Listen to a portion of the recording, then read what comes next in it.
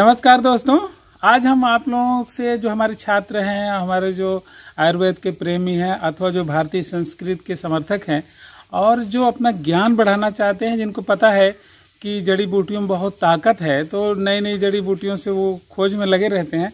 तो उनके लिए आज हम भृंगराज से परिचय करवाएँगे। आप देखिए ये इसका पौधा है। आपके सामने इसकी दो वरायटियाँ हम लाए हैं। दोनों वरायटियाँ हैं भृंगराज हैं। और देखिए दूसरी ये है। इसके पत्ते देखिए आपको। आ, बिल्कुल ही जैसे एक नीम का छोटा पत्ता होता है इस तरह से इसके पत्ते थोड़ा सा कटे इस तरह से है। कटे कटे तो ये दोनों ही वरायटियाँ भृंगराज की हैं। और भृंगराज जानते हैं कि बहुत दिव्य जड़ी बूटी है और एक भृंगराज आसो बनता है भृंगराज से। तो भृंगराज आसो का काम हमारे जो श्वसन संक्रमण है आ, उसके जो अंदर सारी चीज़ें हैं उसको ठीक करना। तो श्वसन की प्रणाली को दुरुस्त करना और उसके इन्फेक्शन को दूर करने के लिए भृंगराज आसो का प्रयोग किया जाता है। इसका मतलब क्या है कि भृंगराज आसो में या भृंगराज में हमारे श्वसन सिस्टम को ठीक करने की इसमें बहुत ज़बरदस्त क्षमता है।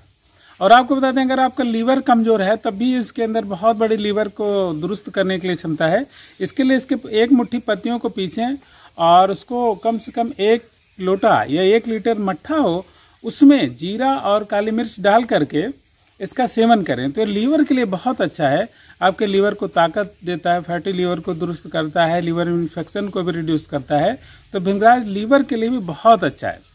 अब बता दें जो इसका सबसे बड़ा रोल है हमारे बालों के लिए तो भिंगराज इससे महाभिंगराज तेल बनाया जाता है। भिंगराज तेल बनाया है, इसमें अन्य जड़ी बूटियाँ भी मिलाई जाती हैं। तो भिंगराज क्या करता है? सबसे पहले तो हमारे जो स्कैल्प है, हमारे जहाँ पर बाल होते हैं, उसको दुरुस्त करता है, रूसी वगैरह को हटा देता है।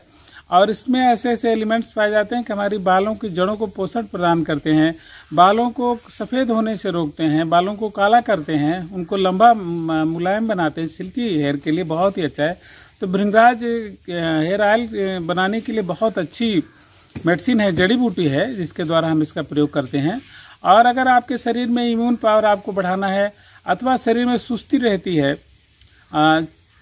एजिंग एंटी एजिंग के लिए करना है तो आपको इसके चूर्ण को इसको सुखा लीजिए धो करके इसको सुखा लीजिए सुखा कर इसका चूर्ण बना कर रख लीजिए और सुबह सुबह इसको एक चम्मच शहद और एक चम्मच इसका सुबह सुबह लेने से हमारी एजिंग प्रोसेस स्लो होती है इसके लिए बहुत अच्छा है। अगर आँखों की ज्योत बढ़ाना है तो इसमें एक आइटम और बढ़ाते हैं आ, लेकिन चूँकि शहद के साथ घी का प्रयोग नहीं करना चाहिए किसी किसी ग्रंथों में उन्होंने लिखा है शहद के साथ घी लें तो इसको लेने की कोई ज़रूरत नहीं है। आप केवल या तो घी के साथ लें तो शहद के साथ इसके एक चम्मच चूर्ण को लें तो आपकी आँखों की जोत बढ़ाने के लिए भी बहुत अच्छा है। तो मुझे अच्छा लगता है कि आप को ये वीडियो पसंद आया होगा, आप देखेंगे। धन्यवाद।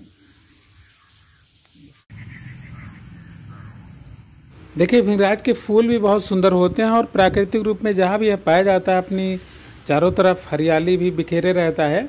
और सुंदर तो बहुत ही लगता है। इसके फूल भी बहुत सुंदर सुंदर छोटे छोटे होते हैं। तो फूलों के लिए भी हम इसको उगा सकते हैं। और औषधि प्रयोग तो हैं ही। इसके प्राकृतिक परिवेश में देखिए छोटे छोटे फूल कितने अच्छे लग रहे हैं। तो कोई भी जड़ी बूटी अपने प्राकृतिक परिवेश में बहुत अच्छी लगती है। तो हम सबको इन जड़ी बूटियों को पहचानना है, उसका प्रयोग करना और बढ़ावा देना है। इसके लिए आप इस वीडियो को अवश्य सबको शेयर करें, लाइक करें।